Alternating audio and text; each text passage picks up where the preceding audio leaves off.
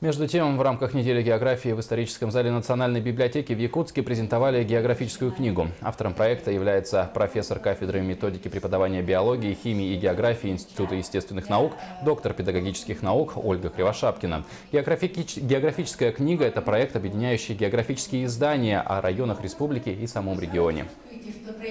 Ну, как известно, у нас в республике очень интересное э, мероприятие идет уже несколько лет, длится под руководством доктора педагогических наук профессора Ольги Милентиной Кривошапкиной. Это создание локальных краеведческих учебных пособий, то есть э, по улусам э, пособий э, родной край. Вот такой проект. И в результате, вот можете посмотреть, какие книги здесь сколько издано.